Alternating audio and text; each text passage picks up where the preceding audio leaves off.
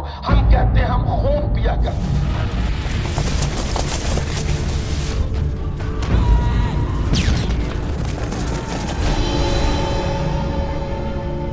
पाकिस्तान एक ऐसा मुल्क जहाँ आतंकियों को पनाह मिलती है। एक ऐसा मुल्क जहाँ पल रहे आतंकियों से पूरे विश्व को खतरा महसूस होने लगा है।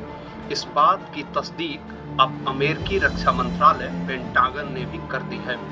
जी हाँ पेंटागन ने तो पूरी दुनिया को ये चेतावनी तक दी है कि पाकिस्तान में पल रहे आतंकियों से पूरी दुनिया को खतरा है। आइए हम आपको बताते हैं किस तरह पाकिस्तान में आतंकी तैयार होते हैं। हम बताएँगे कि किस तरह यह सरजमी आतंक की फैक्ट्री में तब्दील हो गई है।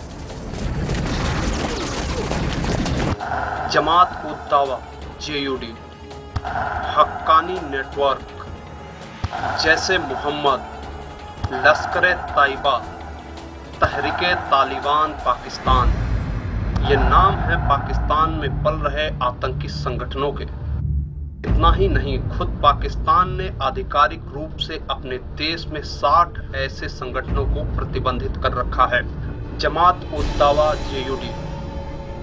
यह वही संगठन है जिसका मुखिया मुंबई आतंकी हमले का मास्टरमाइंड हाफिज सईद है। खास बात यह है कि संयुक्त राष्ट्र ने इस संगठन को प्रतिबंधित कर रखा है, जबकि पाकिस्तान में इस पर कोई रोक नहीं है। हक्कानी नेटवर्क, यह वह संगठन है जिसने 2008 में काबुल में भारतीय मिशन पर हमला किया था। अलकायदा से जुड़े इस खतरनाक संगठन पर पाकिस्तान में कोई प्रतिबंध नहीं है। हक्कानी नेटवर्क पाकिस्तान के वज्रिस्तान में काम करता है, जैसे मोहम्मद और लश्कर तैयबा। ये दोनों संगठन लगातार आतंकी गतिविधियों में लिप्त रहते हैं। भारत ने इन दोनों संगठनों की आतंकी कार्रवाइयों और उनके सरगना से जुड़े सबूत पाकिस्तान को भेजे। इसके अलावा यूएन से भी इसके खिलाफ कार्रवाई करने की सिफारिश की।